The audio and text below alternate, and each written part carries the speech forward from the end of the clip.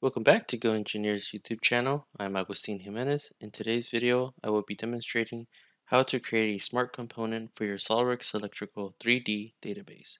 However, the process is the same for your general SOLIDWORKS. Before we get started, make sure to hit the subscribe button if you haven't already. To create a smart component, you'll need a couple of things. You'll need a main subject model. This could be a model that you create in SOLIDWORKS or a downloaded model. Mate references are optional but beneficial. They help in uh, facilitating the assembly process. You'll need a setup assembly that will allow you to then create features, add additional components such as hardware, and then finally we will use the make smart component command.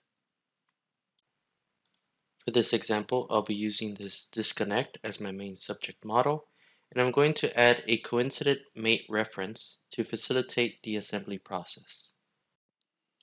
The mate reference command can be found by selecting the drop-down under Reference Geometry on the Features tab. You can select up to three references, a primary reference, secondary, and tertiary. Now we're ready to add this to our assembly. I'll insert my component, snap it into place with my mate reference, and I'll add a parallel mate just to finish it off here. Next, I will edit this door component in the context of the assembly. And I'll add some sketches to create my features. So I'll add one sketch here to create an extruded cut for the shaft.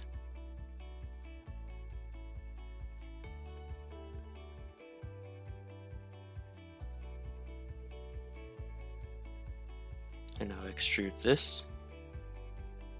This will be my first feature to include. I'll add a second feature by converting these mounting holes to sketch entities.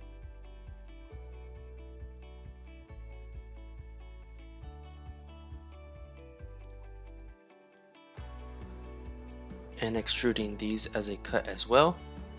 This will be the second feature that I will include in my smart component.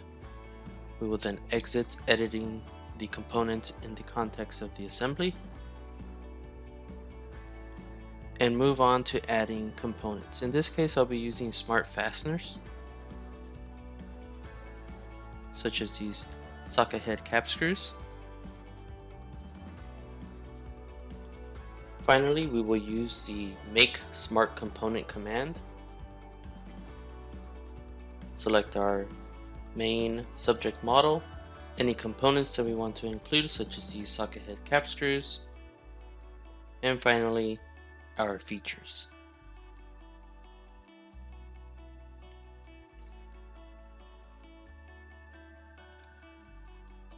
We are now ready to incorporate our smart component to our SOLIDWORKS electrical database.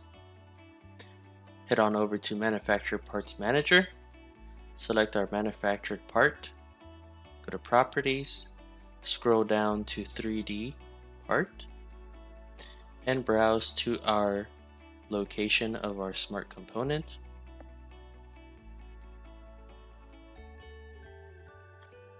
And now this component is integrated into our database and can be used on projects.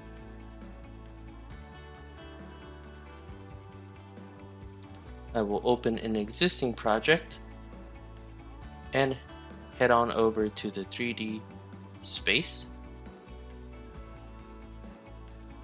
We are now ready to insert our component and take advantage of our mate reference by creating a coincident mate. I'll add one additional mate and by selecting the Thunderbolt that you see on the disconnect, or by right-clicking and selecting Insert Smart Feature, we can enable the Smart Feature Insert, select our reference face, and finish the command. Thanks for watching. If you enjoyed this video, please subscribe and leave us a comment below if you have a topic you'd like us to cover in a future video. Visit our website, goengineer.com, for access to professional training, upcoming events, and more from your number one online technical resource. Bye for now.